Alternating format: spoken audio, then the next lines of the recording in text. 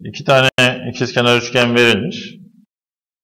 Bu şekilde. Bir de altta bir bilgi daha veriliyor. DCE üçgeninin DCE üçgenin taban açılarından birinin ölçüsü.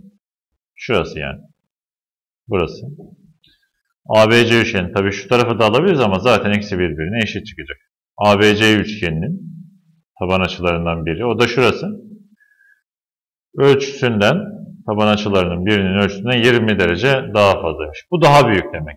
Yani sol taraftakinin taban açısına biz y dersek bu taraf y artı 20 olmalı. Böyle olacak.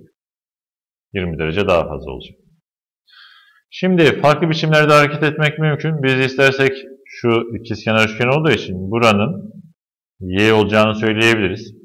Ve şu 3 tane açıyı toplayıp 180'e eşitleyebiliriz. Tabi burası da aynı şekilde y artı 20 ise burası da y artı 20. Bunun iç açılarının toplamını da 180'e eşitleyebiliriz. Soldakinden başlayalım. 2x artı y artı y eşittir. 180 2x artı 2y eşittir. 180 buradan 2'ye bölersek x artı y eşittir. 90 olur. x artı y 90 dereceymiş. Gelelim ikinci kısma. Şunların toplamı da bunların toplamı da yine 180. Yani x artı y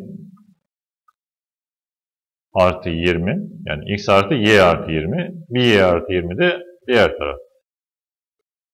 Bu da 180 derece. Şimdi biz istersek şöyle 2y diyebiliriz x artı 2y. Ama x artı y'nin değerini bildiğimiz için direkt şunun yerine 90 diyelim. Bunun yerine 90 yazalım. Bu durumda bir tane y'miz var. Artı 90.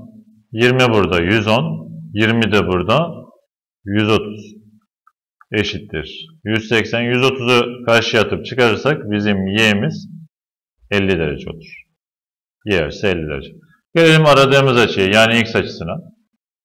Bir kere x artı y'nin değerini biliyoruz. 90 dereceydi. Y'nin değerini az önce bulduk. 50 derece. Eşittir 90. 50'yi karşıya atıp çıkarırsak bizim x açımız 40 derece gelir. Aradığımız açı 40 derece.